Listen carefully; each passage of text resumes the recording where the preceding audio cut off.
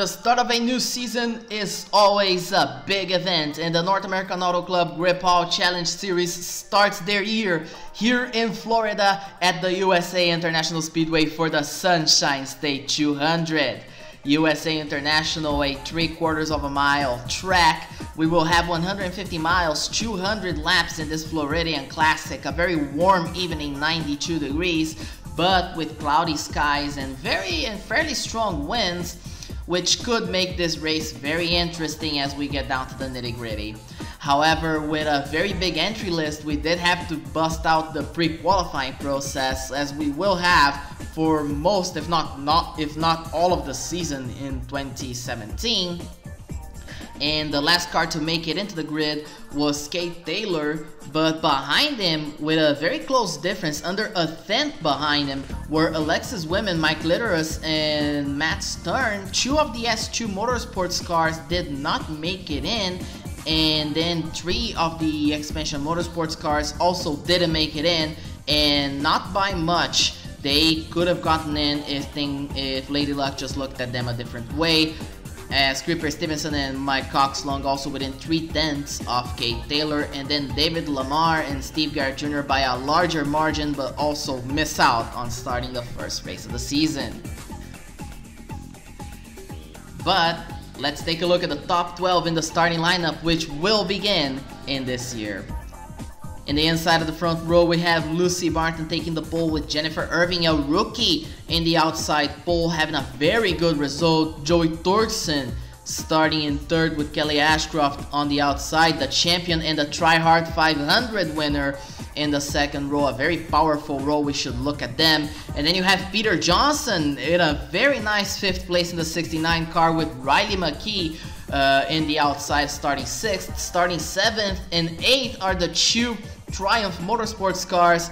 Uh, Brett Finley, Bob Savage, 7th and 8th, very good qualifying results for them. Then we have Caitlin Richler and Corbin Dempsey bringing up roll number 5 and rounding out the top 12 will be Kate Taylor who was the first was the last car to get in in pre-qualifying with Ashley Richardson who also went through pre-qualifying. Now let's go trackside for this 200 lap classic of stock car racing. As you see the driver spacing coming to the green, Lucy Barton has Jennifer Irving on her outside. A fantastic qualifying effort by Jennifer Irving. The pace cars off, they enter the restart zone, the green flags in the air, and we are off in the 2017 North American Auto Club GripAll Challenge Series season. And Lucy Barton already gets a pretty good jump. Jennifer Irving has lagged. She has lagged hard as Joey Torkson, Riley McKee, and Kelly Ashcroft hound her through. And by lap number two, Torkson, a very aggressive short track driver, comes through, takes second place. Riley McKee and Kelly Ashcroft are now third and fourth. Fifth place back there is Brett Finley. By lap number seven, Jennifer Irving has already fallen to 18th place as the field starts to settle down. Irvin has fallen and continues to fall. It is not good for her as Boyd Abbott lap 7 blows up. He already didn't have a very good qualifying effort, started in the back, and now his race comes to a grinding halt on the 7th lap of the race as the leaders come around. The yellow flag is out as the leaders have opened lap 8 and Boyd Abbott will not. And running back to the line, Corbin Dempsey, Lee Schmidt, and Luke Pellerin all get together in the middle of the field and Pellerin already starts his season behind the 8 ball. Uh, Bellerin, who is pulling double duty, as you see, he's on the inside of the front row. Kate Taylor decided not to pit. He's a teammate of Bellerin, Be uh, Luke Bellerin, who is going to be pulling double duty this season, running both PCC trucks and the North American GripAll Challenge Series full-time, both series. So it's a very interesting schedule for the young Canadian from New Brunswick as Kate Taylor comes around. Lucy Barton hounding him as we enter lap number 18. And Barton's to get back to the first position. She has newer tires, fresher tires, a stronger car. And here comes uh, Taylor's informal teammate Jamal Schmidt who is also having a very good restart as Stan Gustafsson, uh, teammate to Martin, finds himself in third place with Joey Torkson, Riley McKee hounding him by, and Ryan Faulkner back there in the 89. Joey Torkson isolates himself in the second position. Stan Gustafsson finds himself in third, hanging on fighting with Riley McKee.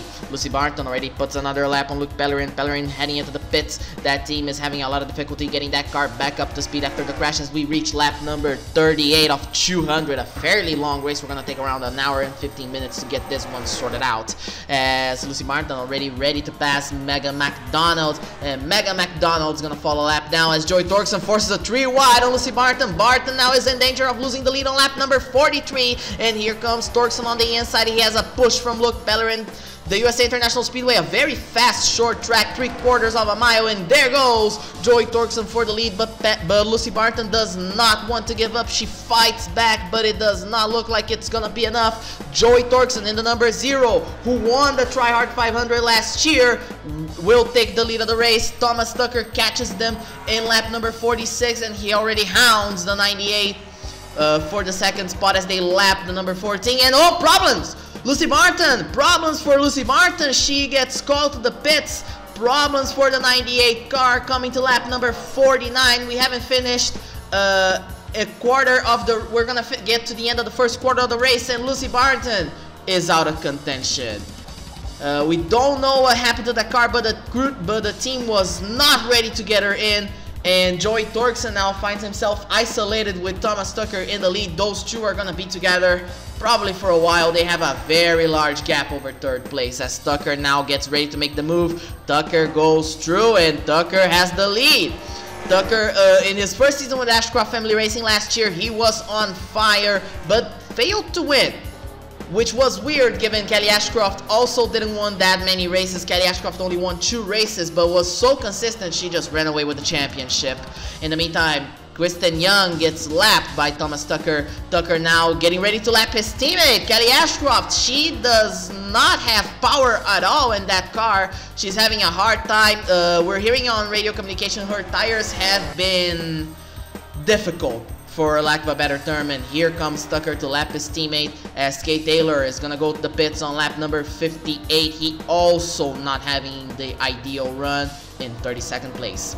Thomas Tucker is the first taker amongst the leaders to go into the pits. Together with him is then is Peter Johnson in the 69, Ibiki Murata. I can see Bobby Savage back there too.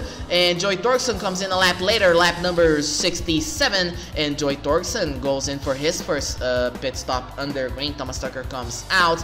And as you see, Kip Lemon back there. He's gonna come down on Thomas Tucker. Tucker punts the 200. Yellow flag is in the air. Caution on lap number 70 as Tucker came out of the pits. He was running on the inside. Kip Lemon just came down on him and Tucker just had no, no way to avoid it.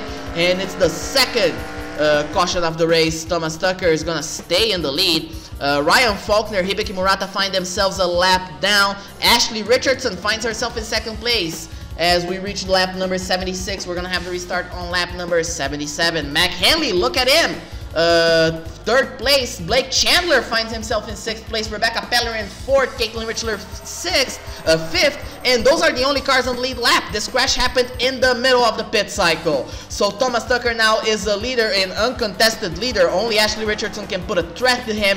And we only have six cars on the lead lap. So this is to be a very uh, interesting race from now on. Look, Pellerin punts Adam Patterson for position on lap 7, lap 81. Adam Patterson already three laps down. Ashley Richardson decides to pitch. He's to change, get fresher rubber. On lap number 83, we're two laps into the caution period. We have not even gotten to halfway. We are three cautions in, which is Okay, it's fair. And she beats Thomas Tucker off the line, and Ashley Richardson now is the new leader of the race as we open lap number 87 of 200. We are approaching halfway. Uh, Jamal Schmidt now a lap down. Kelly Ashcroft lap lap two. Uh, Ryan Faulkner also a lap car, and we have contact. Jennifer Irving gets tapped by by Ruby Carson, and Irving is around a second place starting position. Has not translated to success at all. Ashley Richardson leads the field again. We have still yet to reach lap 100. We are on working lap number 93. Uh, Richardson has had a good restart. She did not find a full-time ride this season, but Dwight Johnson called her up to the 58 car. That car's going to run around 16 races this season, a fair amount of events. But Richardson did not find a full-time ride, and that's completely unusual. As you see Thomas Tucker in second, Rebecca Pellerin in third. She was probably the top contender for Kelly Ashcroft's championship, but her lack of consistency ended up being her undoing as Ashcroft locked the title at Texas. As Richardson continues to lead Kate Taylor, he is technically a teammate of Rebecca. Pe he is actually a teammate of Rebecca Pellerin, has been pulling her through, and here comes Pellerin for second place on Thomas Tucker. Mac Haley right behind her. Mac Haley's gonna try a move as we are looking overhead on Kate Taylor. And here comes Hanley for the second position, and Caitlin Richler now is the fourth place car as Thomas Tucker is stuck in, fi in fifth. And you can see Richardson has is been working up a gap. She doesn't even appear on camera most of the time. As you see, she's now working on the lap car of Joey Torkson. But here comes Ryan Faulkner. Faulkner's faster as we are working lap 110 of 291 laps to go. And Richardson's actually going to be able to hang on. Will she? Torkson, a very aggressive uh, driver on the short tracks, showed his worth, won two races last year as a rookie, won Rookie of the Year, and then won the Try Hard 500. A fantastic showing for him. And Richardson eventually gets through him, and now she's going to be working on Alessandro Nolan. And Nolan been hanging on, he just keeps his line, does what he's meant to do, which is stay out of the way, don't fight her the basic stuff as we are gonna come to 80 laps to go. Richardson continues to lead and she has a very big gap.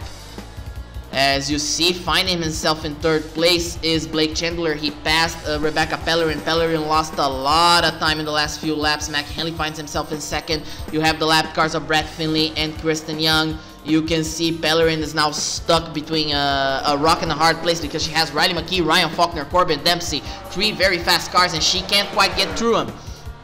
Caitlin Richler now fifth place. Uh, she's working on her teammate Emily Potvin while uh, Thomas Tucker has fallen to sixth with the rise of Blake Chandler. That car has come alive in a hurry as Tucker now working on the lap car of Bruce, Lucia Harper and Jennifer Irving. Three wide situation there. Adam Patterson, Bobby Savage, we make contact and they are off around Brett Finley hits the 14 and the two Triumph Motorsports cars have been wiped out. Finley was running 7th. The first car a lap down in his race comes to a screeching halt and it's such a tough break for the number 15 team who were having a fantastic run after contact between his teammate Bobby Savage in the 51 and Adam Patterson. Adam Patterson has just been a pinwheel this whole race. And Joey Torkson, problems for him. He's stuck in the pits. The car won't restart. He's now falling on the down the running order. And, well, his race is gonna go take a downturn as Blake Chandler finds himself in second place. Uh, leader still Ashley Richardson who gets a very good restart on lap 134. She clears the 38 of Alessandro Nolan who has been kind of slow, just minding his own business. His teammate Mac Henley now is trying to have an opening, but that's not gonna work out. As Torkson, he got that car refired, but had to peel back into the pits. Blake Chandler fighting with Mac Henley. Blake Chandler is gonna take the second spot with Rebecca Pellerin pushing him through as Sandro Nolan does not have space to yield. This track is very uh, while it's wide, the racing line is very, very narrow. Look at Ronnie Samples coming off the pits, coming back in. That, that, he's gonna need new pants. Mac Henley's gonna definitely need new pants. As Blake Chandler and Rebecca Pellerin find themselves in second and third, Thomas Tucker, problems for the number nine, and Thomas Tucker's race takes a downturn. He is now in sixth and falling. As we look at the replay of him entering the pits, that is not good at all for the number 9 team. His race takes a downturn. Ashley Richardson, lap number 139, coming to lap number 40. We have 42, 41 laps to go. She leads away. Rebecca Pellerin now past Blake Chandler, finds himself finds herself in second place. Caitlin Richler catching up the number 03 in fourth, and Rebecca Pellerin hangs on to second place, and she has caught the 58 in a matter of five laps, and she's all over the 58. It's gonna try to make a move. Jennifer Irving is right there. Jennifer Irving in the middle, and there goes Rebecca Pellerin. Uh, it just the the moment Jennifer Irving was gonna cut down on Rebecca Pellerin, Pellerin made the move, and she's the new leader of the race. And here comes Pellerin hanging on Richardson chasing Thorkson about to go another lap down his race has not been good at all and uh, the same happening to Thomas Tucker. Here comes Richardson through the 27 using the zero as a pick. And here comes Ashley Richardson back into the lead after just 10 laps away from it. As we reach lap 157 of 200, we are coming down to the wire. We are almost under 40 laps to go and Richardson and Pellerin are side by side. No one wants to yield. And here comes Richardson for the lead. Caitlin Richler third place, fourth place is Blake Chandler. And and Richardson finally clears Pellerin. Pellerin still fighting, but here comes Kelly Ashcroft. Uh, a fire lit under the 99 and she is now back into pace and finds herself in 11th place. If she works her positions properly, she might take a top 10 out of this, but it's to be very hard. Uh, but Ashcroft hanging on as Lucy Barton slowing down. That car's done. That car's done. It's done. Lucy Barton slows down in front of traffic very late in the running. And lap 162, 39 laps to go. It is over for Lucy Martin and we get another caution. Richardson and Pellerin lead everybody into the pits. This is going to be the final pit stop. After this, you won't need to refuel. You won't need to take new tires. And both come in, and Richardson comes out still in the lead. And this is gonna be our battle for the win. We only have a few cars remaining. We only have five cars on the lead lap after Thomas Tucker ended up peeling off. Richardson gets a fantastic restart on lap 168. Rebecca Pellerin chases her, also clears the zero of Joy Thorkson. Caitlin Richler having a little bit of a hard time there. And Richardson runs away with the first position. As Pellerin chasing, Richler now clears the number 0 and is now all over the 27. Lucy Martin got back on track, but that car is painfully slower than it should have been. She's a quite a ways back, and honestly, she's running to get a few points here and there. Blake Chandler catches Richler and Pellerin, and this is now a battle for second position as Richardson peels away and runs with the lead. Caitlin Richler and Pellerin and Chandler, and here comes Kelly Ashcroft pushing Mac Henley into the battle. And now Alan Patterson has held up the 58. And this is it dangerous. This is dangerous for Ashley Richardson. Patterson moves to the inside. Richardson on the outside. And this they're going to have to split the 14. And they're going to split him into three wide with only 17 laps to go. And Richardson's to take the lead back as the number 2 of Caitlin Richler on the inside of the 58. The old 3 is all over. The 99 of Kelly Ashcroft all over each other. And here comes Jennifer Irving ready to be lapped. This is going to be a lap car management finish as we are reaching 17 laps to go. 17 laps to go. This is the one you win it as uh, with Caitlin Richler on the inside, Richardson on the outside. Richardson clears Irving, and here comes Kelly Ashcroft. Makes a move on the number two, and Kelly Ashcroft's gonna take the position. And Kelly Ashcroft trying to unlap herself because there are cars she needs to catch. She needs to haul in order to gain a couple more positions. As Mac Henley finds himself passing the 03 of uh, Blake Chandler. Rebecca Pellerin now no longer a factor. She's dropping back and she's dropping back hard. Kelly Ashcroft with with 14 laps to go, ready to make a move on Richardson. And now Richardson stuck between Samples and Ashcroft. It's a rock and a hard place. Caitlin Richardson ready to make the move. Richardson makes the move first. Richardson makes the move first. The 99 of Kelly Ashcroft follows her.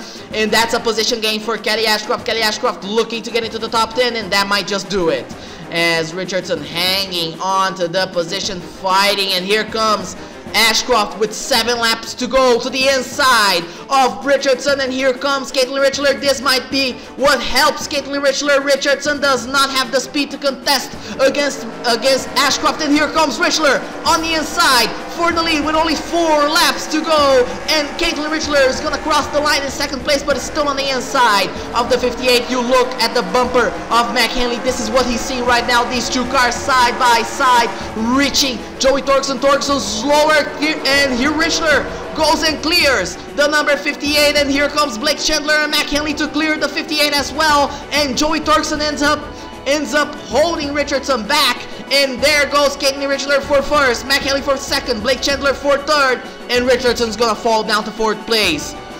This is not what Richardson wanted at all as we come to the white flag and Richler has a clear path Ashcroft's quicker and Ashcroft's just not a factor anymore as Hanley, Chandler, and uh, Richardson are still fighting for second place. They do not look like they'll be able to catch Caitlin Richler. And rounding out the final corner to open the season in style, HQS Racing was winless last year, but no longer. Caitlin Richler snaps the streak.